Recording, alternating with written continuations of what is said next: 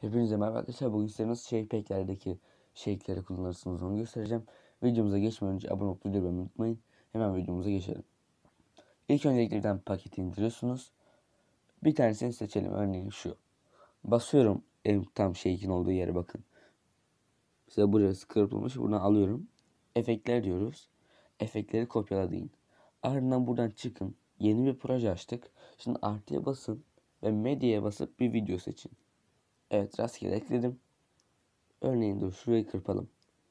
Kalanı sileyim. Şimdi nasıl ekleyeceğinizi göstereceğim. Shake'i ekleyeceğimiz yere basıyoruz ve kırpıyoruz. Gördüğünüz üzere ikiye ayrıldı. İkiye ayrılan yere basıyoruz üstüne. Efektler diyoruz. Efektleri yapıştırıyorsunuz. Bu şekilde.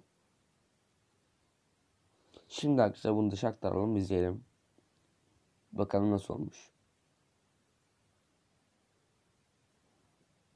Evet arkadaşlar bakalım. Bu şekilde arkadaşlar. Siz de bu şekilde kullanabilirsiniz. Coloringler aynı mantık değil arkadaşlar. Hem onları katmanlarınız kopyalayıp yapıştırıyorsunuz arkadaşlar. O şekilde coloringleri kullanabiliyorsunuz. Bugünkü videomuz bu kadar. Devam için abone olup videoyu beğenmeyi unutmayın. Hepinize görüşürüz. Bay bay.